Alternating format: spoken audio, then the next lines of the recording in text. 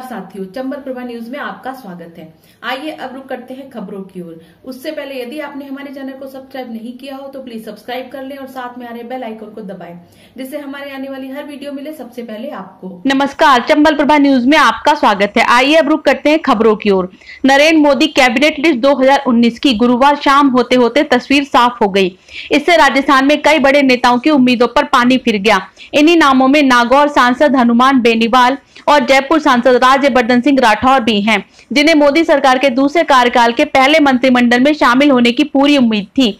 सूत्रों के अनुसार बेनीवाल और राठौर दोनों देर शाम तक फ़ोन आने का इंतज़ार करते रहे। वहीं राजस्थान से इस बार तीन सांसदों को मोदी के मंत्रिमंडल में शामिल होने का मौका मिला है।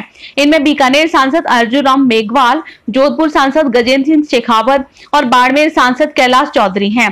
वैसे राजनीतिक गलियारों में तो किरोड़ी लाल मीना की चर्चा भी जोरों पर थी पर इसकी वजह तो बता पाना मुश्किल होगा, पर सूत्रों की माने तो राजस्थान में बीजेपी को मज़बूत करने के लिए संगठन में इनको महत्वपूर्ण ज़िम्मेदारी सौंपी जा सकती है, क्योंकि राजस्थान में हनुमान बेनीवाल का नाम अब कद्दावर नेता के रूप में देखा जाता है प्रकाश जावड़ेकर इस बात को स्वीकार कर चुके हैं कि बेनीवाल कद्दावर नेता के रूप में पश्चिमी राजस्थान में उभरे हैं हमसे हमेशा जुड़े रहने के लिए हमें सब्सक्राइब करें और बेल आइकन दबाएँ।